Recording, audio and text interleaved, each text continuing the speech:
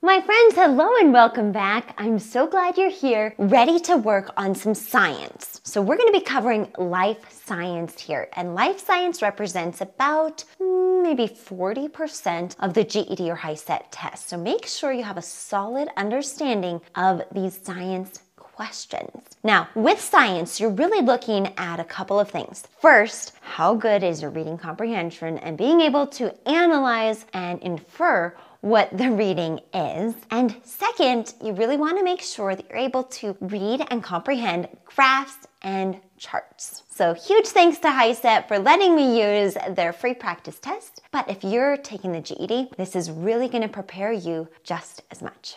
Okay, my friends, if you are new here, click subscribe because I would love to have you. I have so many videos, hundreds of videos that help you on your GED HiSET journey. And if you've been with me for a while, or if you're brand new, I would love to invite you to my Purely Persistent Academy membership that will really help prepare you in so much more depth than you'll find here on, on YouTube It's affordable and effective, and it pairs perfectly with your local adult education program. Okay, friends, let's jump right in and get started. So the first thing I like to do is just sort of take a look at the picture what is going on. So here we have a graph and you can see it is linear, so it's a straight line. And we have the ambient temperature on the bottom. That's going to be the temperature of the surroundings with on the y-axis, we have the body temperature. And you can see here as the ambient temperature goes up, the body temperature goes up and it's actually the same.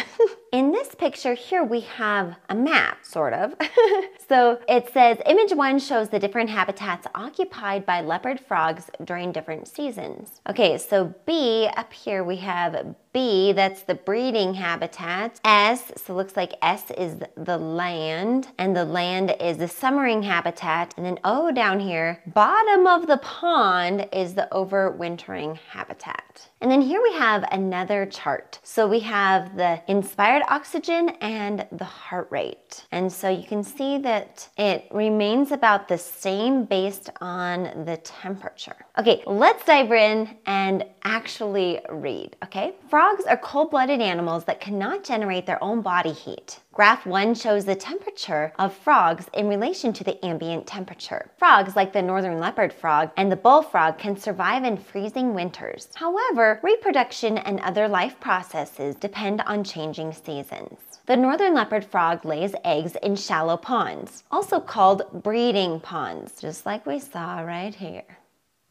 These ponds usually have a depth of 1.5 to 2 meters, allowing water to be heated by the sun. This makes the temperature of the pond suitable for the rapid development of eggs into tadpoles and then adult frogs. These ponds lack fish and are not connected to other bodies of water. Frogs also use different modes of breathing in different seasons. The northern leopard frogs hibernate in the bottom of ponds during winters, typically covering themselves in mud and sitting very still. They choose ponds that have enough dissolved oxygen and will not freeze all the way to the bottom. Graph 2 shows the heart rate and the amount of oxygen utilized by the northern leopard frog at different temperatures. Okay, so now let's take a look at the questions. So we're starting here with number 6. So based on graph 1, what can likely be interpreted about the change in the body temperature of the frog in relation to the ambient temperature? Okay, let's go back and take a look at that chart. So here we discussed that this is a linear chart, right?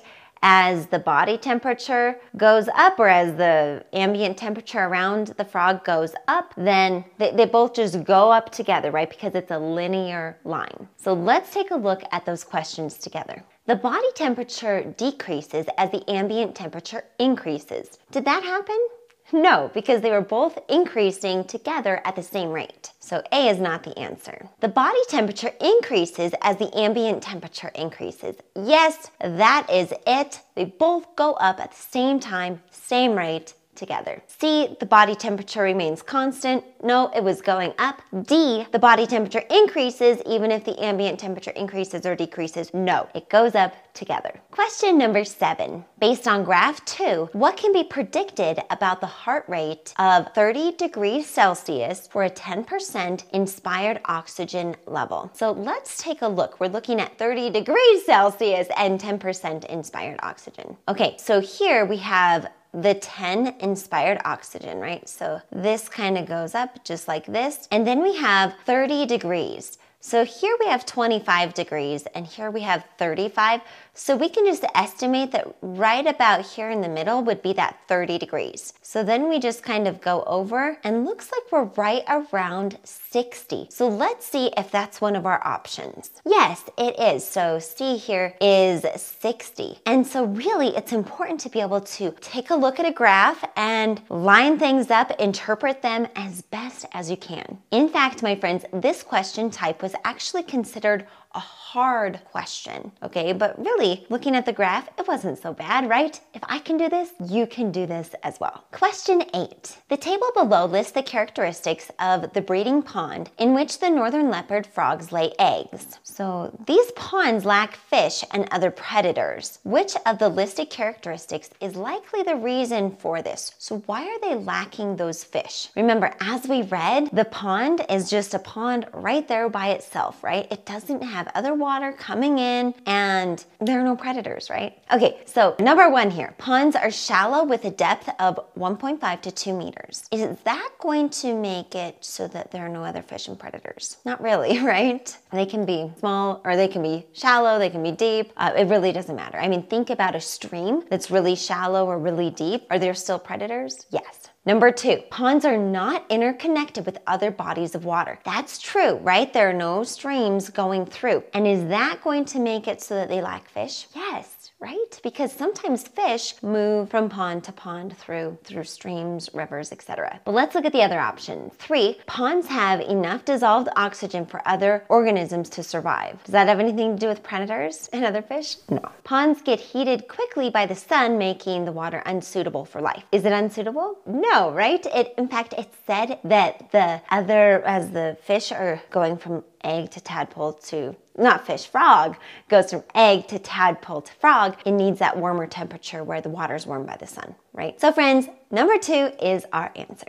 Question 9. The breeding ponds in which northern leopard frogs lay eggs usually have a depth of 1.5 to 2 meters. However, these ponds should not be too shallow. What could be the likely reason for this? Okay, I want you to think about how sometimes in a pond, what happens in the summer? How does the pond look at the beginning of the summer versus the end of the summer? So use your own life to think about this before we go in and answer the questions. When I go to ponds, I notice that that in the beginning of the summer or even even a lake that has that water coming in and out, it tends to be a lot higher at the beginning of the summer and at the end of the summer it becomes a lot lower. And the same with an isolated pond. Higher in the winter, lower in the summer. Even if you have a like a little yard with a pond or something or even if you just put a bucket of water outside or a cup of water, what happens to it even by the end of the day? It evaporates, right? So the the sun heats up the water and it evaporates. That's what happens to ponds. So our answer here, without even looking at the rest of them, because I kind of gave you the answer, is A, right? The pond will dry up before the tadpoles grow. Tadpoles grow into adults. So that's why they want to make sure it's a deeper pond so that the tadpoles can actually grow before the water dries out. Question 10. What is the likely reason that northern leopard frogs hibernate at the bottom of the pond during the winter? Okay, so we read about this, but let's look at it just a little bit more. If you remember, the frogs go to the bottom of the pond right here where it's probably going to be a little bit deeper and they cover themselves in mud, right? And that part of the water, because because of the oxygen level doesn't actually freeze. And so they just hibernate. They're the same temperature as the ambient temperature, the water, the mud around them, and then they'll be ready to go when springtime comes. So let's dive in and look at those actual answers. Okay, so are they hibernating at the bottom of the pond uh, to avoid being noticed by any predator?